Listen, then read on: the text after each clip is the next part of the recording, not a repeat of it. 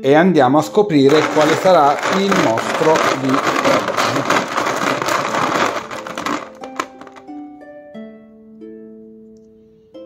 Oddio, che schifo è!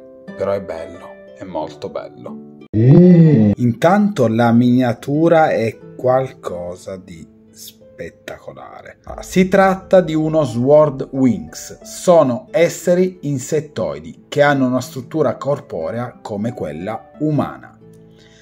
Hanno una testa con una faccia di insetto, due braccia sul torace e due gambe sull'addome. Le teste delle spade spesso appaiono snelle, con un'elegante forma oblunga che termina con punta, corna o piccole lame. Le loro braccia e gambe non hanno dita dei piedi, ma sfoggiano estremità spinose. La loro caratteristica più notevole sono per l'appunto le ali, che non vengono necessariamente utilizzate per volare quanto per combattere sono affilate e capaci di oscillare come falci per squarciare i nemici. La loro pelle è un esoscheletro su tutto il corpo tranne per le ali e può avere molte varianti di colore, dal blu al viola intenso. Questi esseri provengono da un'antica civiltà che giace nelle profondità più cavernose del sottosuolo. Si annida tra strutture capovolte che si fondono con le stalattiti una volta erano molto più simili agli umani, avevano più carne e forse anche capelli, anche se probabilmente non erano esattamente umani. Si pensa che un grande cataclismo nella loro storia, conosciuto semplicemente come il grande terremoto, li abbia allontanati dal loro luogo originario del mondo di sopra, dove erano praticamente un popolo nomade.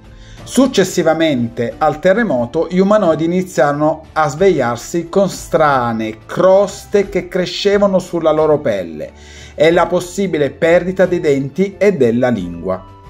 Nel giro di pochi anni, molti furono colpiti da questa strana afflizione, che terrorizzò loro stessi, così come le altre razze che li vedevano.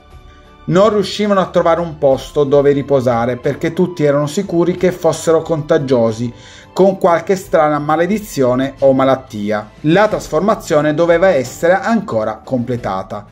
Mentre il mondo li spingeva, gli umanoidi continuavano a cambiare, facendo spuntare piccole ali che poi crescevano fino a raggiungere le dimensioni delle lame.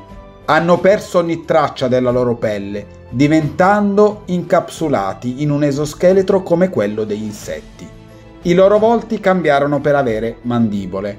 Le loro menti sembravano aver perso qualcosa di vitale che li ancorava agli esseri umani. Una voce li attirò nel sottosuolo.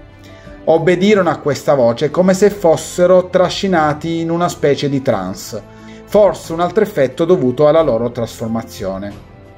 Furono chiamati in massa nel luogo in cui vivono oggi. Una volta lì, la voce comandò loro di costruire una città che avrebbe ospitato e allevato le loro forze come una caserma fino al momento in cui sarebbero diventati una forza potente, tipo un esercito. Risiedono lì fino ad oggi, espandendo la loro città che si chiama Alber Zebul. Che devo dire se non che è un mostro veramente interessante con una storia altrettanto interessante. Lasciate un like, ci vediamo al prossimo mostro.